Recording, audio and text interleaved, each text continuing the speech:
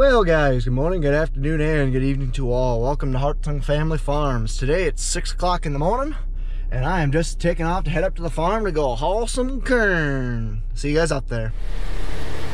Alrighty guys, before we get this video started, be sure to go down to this corner right here, that little red box. Be sure to hit that subscribe button. Really appreciate it. Just takes five seconds and it is free. Spring is just around the corner. We got plenty of equipment stuff going on today. Oh yeah.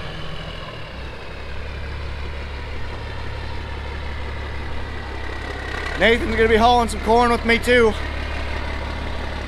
So I'm gonna check in with this these guys and I'm gonna go head up and head up uptown and grab my semi and get rolling. Hi Max, how are you? Hi boy. Hi boy. Well, I got forgot to tell you guys what we're doing today, but today, as you can see, we're gonna be hauling corn for a while.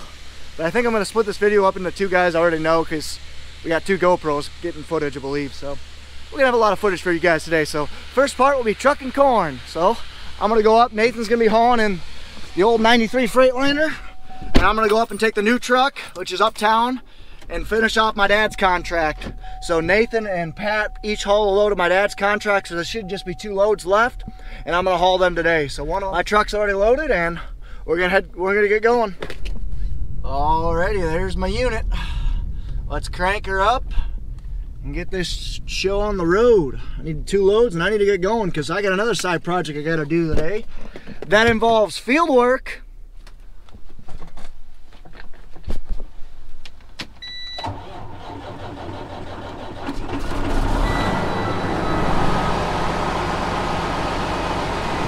Alrighty, she needs a little while to warm up, so I'm gonna get my GoPro stuff set up while I'm warming up.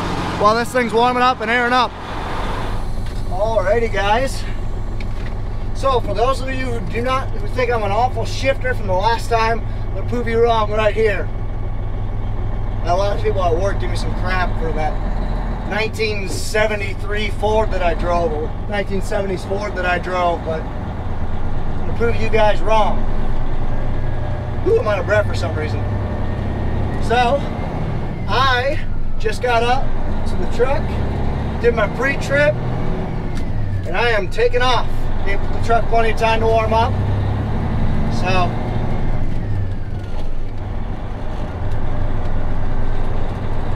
And for those you guys who don't know, I do not show everything on camera. So for example, I had a couple comments on one of my videos where, well, you didn't do a pre-trip inspection or uh, I can't remember exactly what it was, but I don't show everything, guys. I mean, I don't show the boring, repetitive stuff of checking oil, tapping tires. I don't show all that, but it does get done. I just feel like you guys, it, it's not worth your time seeing that because I do that every time. I try to give you guys something different, and I tried, the goal of this channel to get you guys to learn something. Now I'm going to show you guys that I can shift.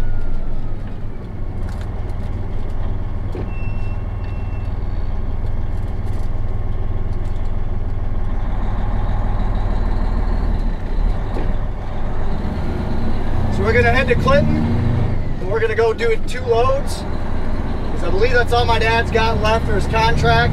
One load I got on right now. And I believe he's to, uh, Cole Dicky, the owner's son, is gonna get up here at like, I don't know, nine o'clock or so. And he's gonna come load me for another one.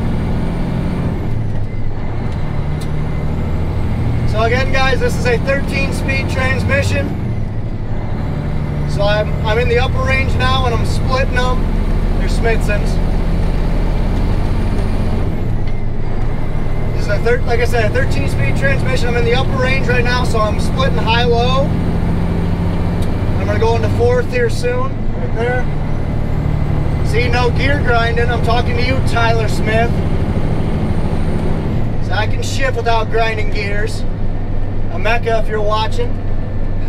So we're gonna go ahead, head to Clinton.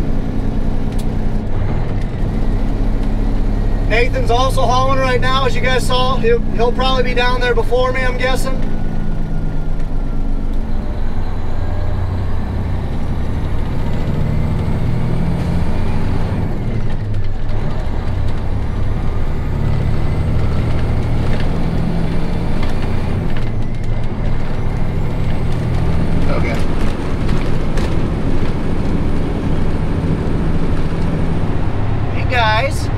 Guys, look at this. Look at this on the left. What are those? What are those? Those are anhydrous tanks. Some guys are putting on anhydrous. I believe it was House right next to us. They tilled all this stuff up. Man, oh man. Alrighty guys, so I'm just pulling into ADM. Nathan is right behind me actually. So, what I was saying before guys, is that House was actually running, or a, a, farmer near us was actually running back on Monday. They're putting anhydrous down. In my opinion, it was a little early, but hey, they're doing what works for them. So, and then uh, I can't remember what else I was going to tell you guys, but if I do, I'll throw it down there if it was anything important. Sorry, but uh, but yeah, so this is my first of two loads going down to ADM. We're just down here. It's a little wet today, so it's a little damp. Just not very good drying days, but they'll have those. It's still spring. It's still a little early, but switch over to the ADM channel and then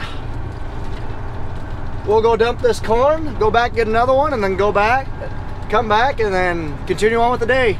Not quite sure what's exactly going to happen. I have a feeling. I, I, I have a feeling I know, but I mean, plans change every day or every minute, so not even gonna bother telling you guys. Look, right there, it's my friends. My friends, the turkeys. They're there. I missed you guys. Hi. Hi, buddies. Big. Probably big from all the corn they eat down here. Oh yeah. Hi, turkeys. Ooh, who's this guy? So I, as you guys can see, this is kind of a good side-by-side -side view, but his trailer's taller than mine.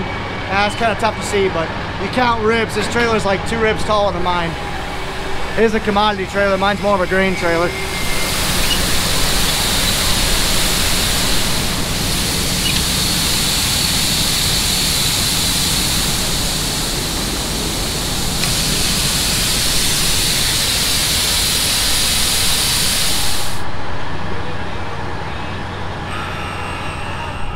Alrighty guys, so I just made it back to the store.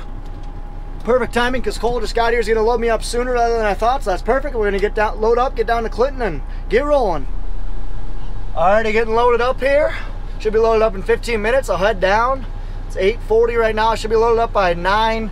Head down to Clinton and back by 9.30. And I should be ready to roll. I believe, I'm not quite sure what we're gonna be doing the, the rest of the day. I, like I said, I had a feeling, but so Nathan, I believe, is done trucking. I think they're going to start moving equipment. So we'll see.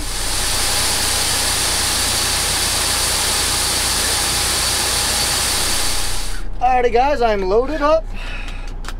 Ready to head down to Clinton. The last load. Last load of my dad's corn, my dad's corn is gone for this year. Sweet, looking good. Hey everybody, we're uh, this morning we're hauling some corn down ADM right now. Ronald's hauling with the other semi. Uh, drive through today, kind of nice. Nice day today. Sounds like we're gonna get spring equipment switched around. So it's gonna be a pretty busy one. It's my last load for the day.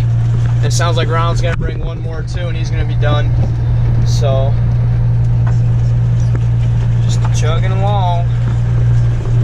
I'm on with our day cab, as you can see. And Ronald's on with the other semi. Uh, along with the sleeper and the maroon. Just pulling in guys and there's already, I already tell there's more people than there, there was last time, but that's all right.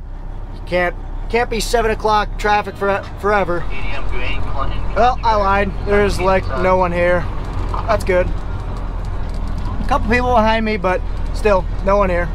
So I'm down here at ADM right now, and there's an Eberhard truck that that I followed down here. Eberhard's the, the co-op that basically we buy all our anhydrous from and a lot of our chemicals. So, but anyway, um, Eberhard's, but uh, so Eberhard's is like I said, they have a trucking company. They do they do put up bins. They do a lot of stuff. Anhydrous, we buy our anhydrous from them. Oh, there goes Nathan.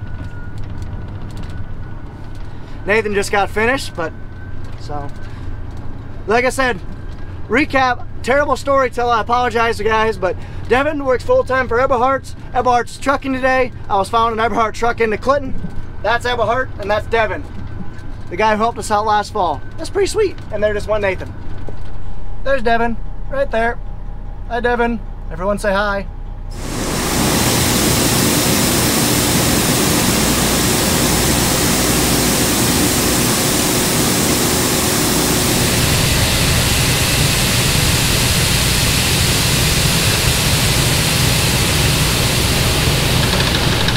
Alrighty, I just got back. Got two loads in. My dad's contract is filled.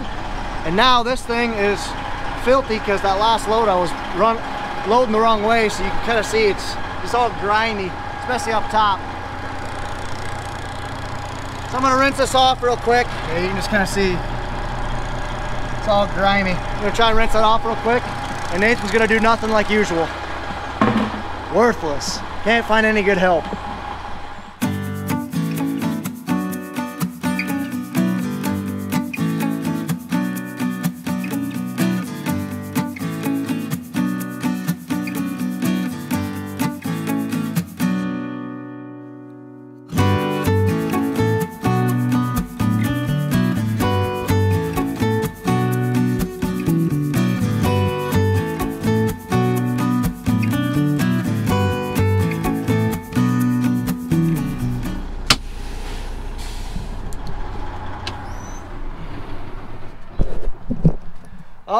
Alrighty, good enough.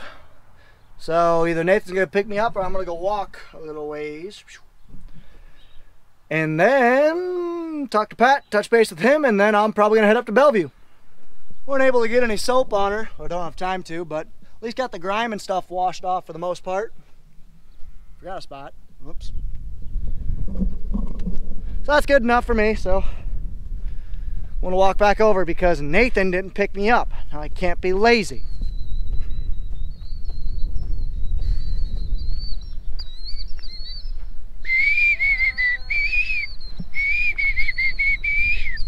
I too can yell barn swallow. Alright guys, back here. So while I've been gone, it looks like Nathan last night washed the loader tractor, which that probably hasn't been washed in a a long time. I haven't seen this tractor this nice since it was brand new. I can actually see blue. It's not full of poop. Especially the tires. The tires are white. What is that? I didn't even know they were white. Weird. All right, and a little update on the progress on the skid loader. So you can kind of see, there's where the bearing was, or which connects to the wheel. There's kind of the inside of that 1840 skid loader right here. Kind of get the engine back there, goes into the hydrostatic pumps. And they actually hook up to, you can kind of see these tie rods right there. I believe those actually hook up to the controls. They're kind of via linkages. So yeah, on this tractor, on this skid steer, you can actually slide this cab forward. That's how we're actually getting at this. It's pretty neat. And you guys might wonder like, why, how is this safe leaving this bucket up there? Well, it wouldn't be unless we had this kind of dead man stop is what I like to call it. So if the hydraulic cylinder can't drift, it actually hits this sheet metal stop that normally we pin it up so that way it's uh, out of the way but because we're actually working on it the only way you can get at this cab is if you raise the entire boom up so that's what we had to do but yeah it's kind of neat it's got two pumps it looks like stacked together and they go to the hydro hy hydraulic motors so pretty neat I don't claim to be an uh, expert on engines especially hydrostatic engines but I know just enough to be dangerous in my opinion and that's what this is. So this actually is the bearing that's out. I believe that's bad. So we got to replace that. And that's what Pat's been working on the off time. Be nice once we get this going because that way we can actually have two, the skid loader down at Pat's place for messing with the cow calf pairs, but it's not a necessity right now. You absolutely, we don't absolutely need it right this time, but so that's what's going on at the farm right now. Um, I'm gonna go out and check with Pat, see if they don't see if they need anything else, and then I'm gonna head up to Bellevue. I always told you guys I was gonna show you guys our spring house, but here's our spring house. I might as well show you that while I'm walking back here. So this is also a place where my grandma used to dress chickens. I'm gonna leave it at that because I know some people are kind of queasy. That was nothing bad in here. But basically the spring comes out right here. This is where all that spring water starts. It kind of comes out, I believe somewhere down up in that area. So There's the fencer we have hooked up for the cattle. Yeah. So the spring starts here and that's where the water just starts flowing. You can kind of see it coming out right there.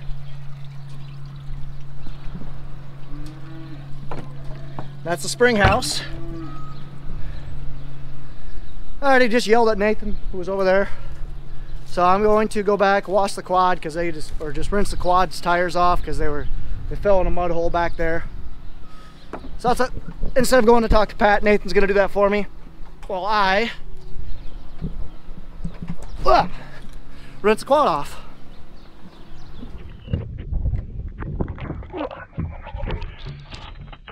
I'm gonna start this bad girl up. Alrighty, take two of power washing.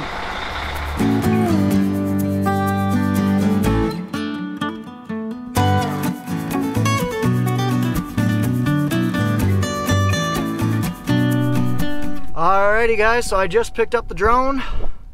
Just picked up the drone and I'm gonna head up to Bellevue. So I think I'm gonna pause the video I'm making right now. I'm gonna start a new one when I get up there because that's gonna be the first field work of 2018. We're gonna put some seed in the ground, guys. So I got the drone, got my GoPro. My dad and I are gonna go do that. So I'll catch you guys up when we are done in Bellevue. Alrighty guys, we're back from Bellevue. You have to stay tuned for that video that's gonna come out in two days what we did, but basically that's the first field work of 2018. 2019 that we did. But anyway, so I am back right now. Uh, I brought the drill back, which is right there.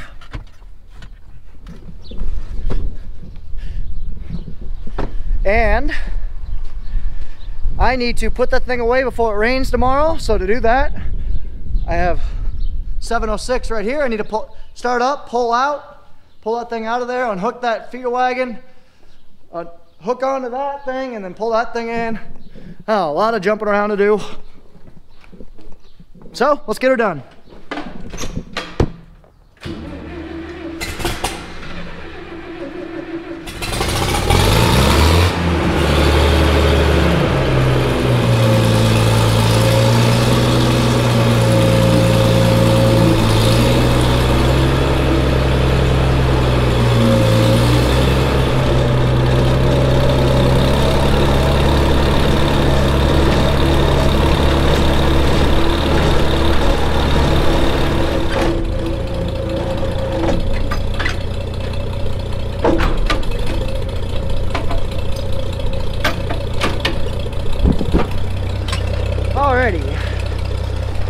this thing started up, moved out. I need to air up those front two tires. Ah, they'll be fine. So they were flat, though they're flat right now, but I'm not doing much with them. I'm not road traveling or anything. One was flat. I put an air bomb tank into it, which is basically a portable air tank. I put that into it, and it and that made it fine. So I'll pull this back this thing around or flip this thing around and unhook it.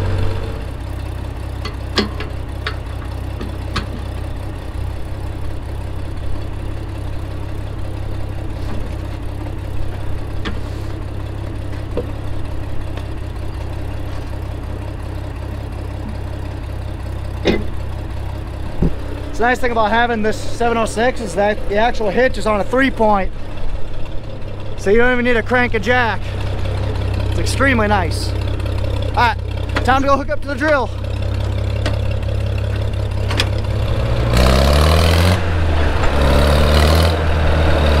The 706 is handier than heck.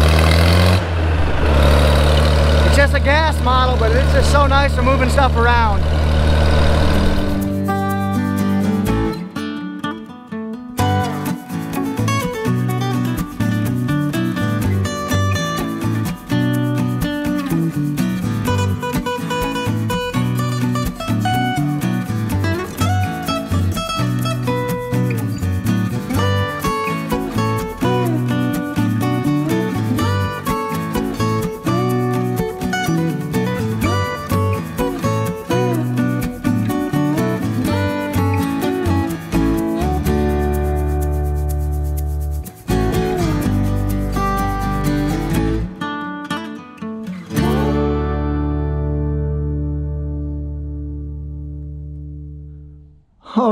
Guys. Sorry about that, but my GoPro literally died right as I was just about ready to start the outro. So, record this real quick at home while I'm editing the video. But anyway, I hope you guys enjoyed that video. If you guys did, be sure to like, comment, and subscribe. Follow us on Facebook and Instagram at Hartung Family Farms. And of course, guys, as always, ta-ta for now, and be sure to stay tuned for future videos. We got plenty of stuff coming. A lot of new equipment, not going to say anything more on that. And we're actually just going to be starting field work here on Tuesday. Cross our fingers.